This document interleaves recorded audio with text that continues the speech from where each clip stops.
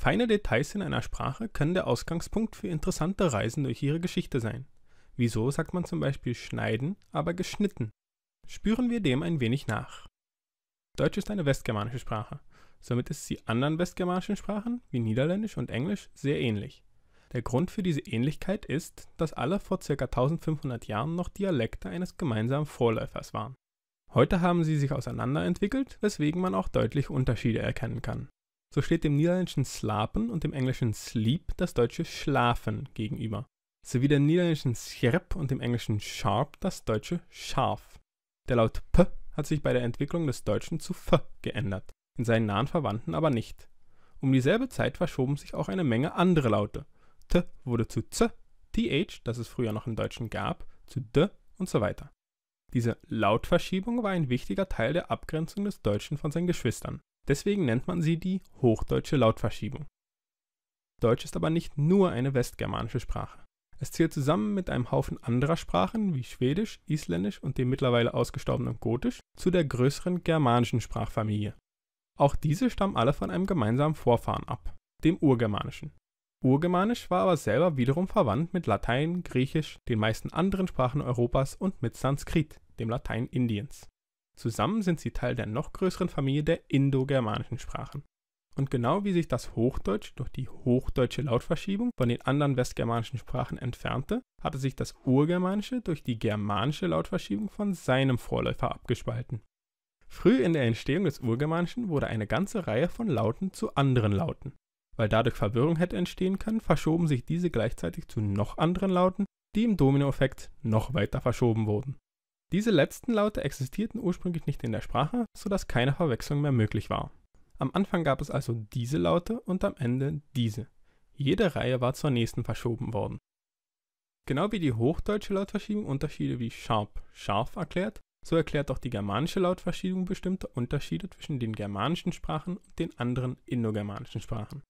So steht der deutsche Neffe dem lateinischen Nepos gegenüber. Wo im Latein ein P steht, steht im Deutschen ein F, weil das indogermanische P in den germanischen Sprachen zu einem F wurde, im Lateinischen aber nicht. Latein hatte auch seine eigenen kleineren Lautverschiebungen. So wurde in ihm das indogermanische B am Anfang von Wörtern zu F.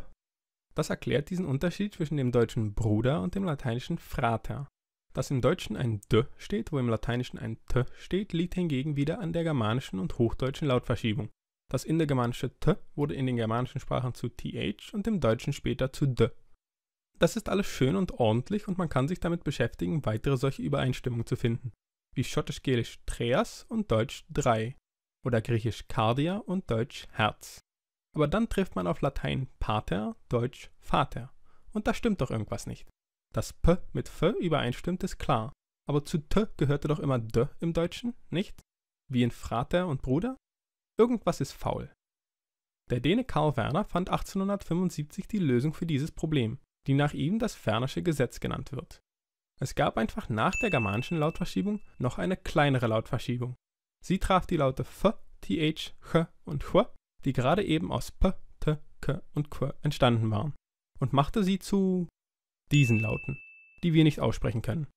Auch wurde das S wie in Wasser zu einem S wie in Vase. Interessant ist aber weniger, welche Änderungen genau passierten, als an welchen Stellen und in welchen Wörtern. Dabei ist der entscheidende Faktor nämlich, wie die ursprünglichen Wörter betont wurden. Im heutigen Deutsch wird fast immer die erste Silbe des Stammwortes betont. Man sagt Menschen, Leben, Tanzen, Welt und halt Bruder und Vater. Im Urindogermanischen war die Betonung aber viel wechselhafter. Man sagte zwar Bruder, aber Vater. Das Wernersche Gesetz griff nur, wenn die vorhergehende Silbe unbetont war. Das T in Vater wurde also beeinflusst, das T in Bruder aber wegen der anderen Betonung nicht. Wenig später entstand die moderne Betonung, die dafür sorgt, dass man heute Bruder und Vater nicht mehr unterschiedlich betont. Was das früher immer so war, können wir aber immer noch sehen. Die altmodische Betonung hinterließ mit dem Wernerschen Gesetz in der Sprache Spuren, die im Deutschen bis zum heutigen Tage erhalten sind und die man durch die Jahrtausende verfolgen kann. Das Strich G wurde zu einem normalen G, während das Ch zu H wurde. Strich D wurde zu D, das durch die zweite Lautverschiebung zu T wurde, während TH zu D wurde. Strich B wurde zu B, während F blieb wie es war und S zu S und S zu R wurde. Also obwohl die betroffenen Laute sich später änderten, verschwand dadurch der vom Wernerschen Gesetz geschaffene Unterschied nicht. In anderen germanischen Sprachen ist das anders.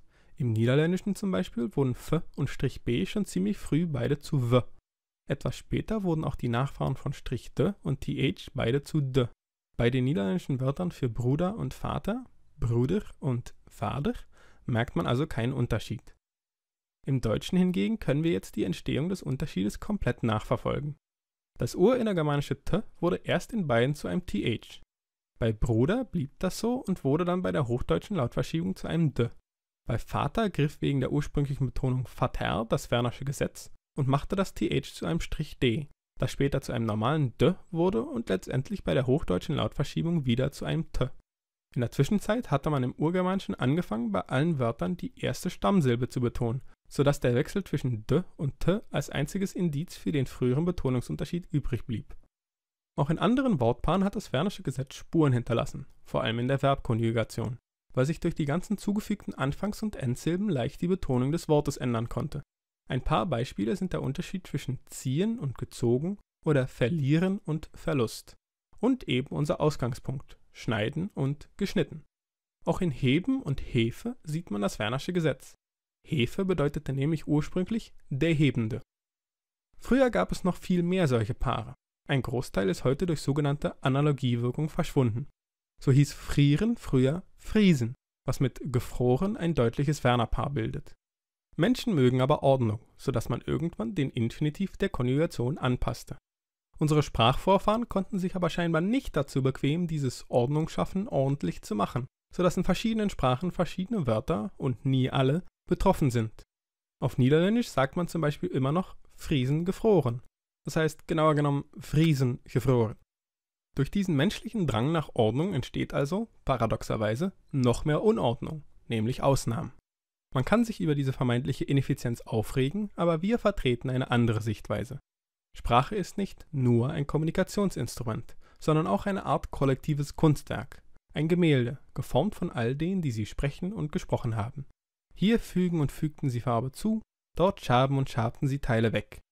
Einzelne Farbtupfen, die an die Oberfläche ragen, können dabei sehr alt sein. Überbleibsel eines uralten Teils des Bildes, das jetzt von neuen, genauso schönen und komplexen, Farbschichten fast vollständig verdeckt wurde. So ist es auch mit dem Wernerschen Gesetz. Kleine Unregelmäßigkeiten, die bis heute bewahrt sind, eröffnen uns, wenn man ein wenig gräbt, Systeme und Kräfte, die vor Jahrtausenden in früheren Stadien unserer Sprache wirkten. Die germanische und hochdeutsche Lautverschiebung, Analogiewirkung, variable Betonung, Laute, die wir heute gar nicht mehr aussprechen können und natürlich das Fernersche Gesetz.